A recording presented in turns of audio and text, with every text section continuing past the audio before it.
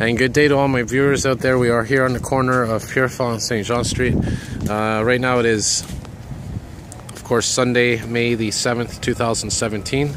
It's approximately 2.58 p.m., very quickly approaching 3 p.m. And this, of course, is where I began my coverage of this incredible historical flood. Um, that's the Pizza Hut down there, by the way and you can't really see it, but the Mourelatos is right over there. When I came here the other day, this was not even close to where this water is now.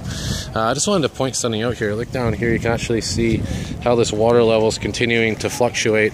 Um, this thing right here is actually debris that's washed up, uh, sticks, twigs, and whatnot. And you can see the water level was here at one point, it's going up and down.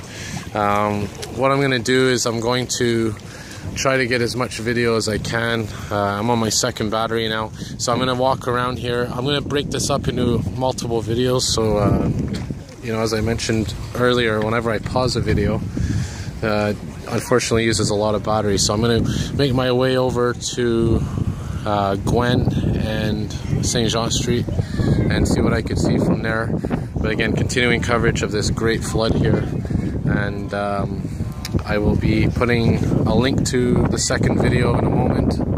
And again, I'm going to try to go over there to Gouin and St. Jean Street and uh, see if I can see any progress on that breach where that actual breach is where the water is coming from. So um, next video is coming up very shortly. So I'll put a link there for my second video of this specific location here on the corner of Pierrefonds Saint Jean.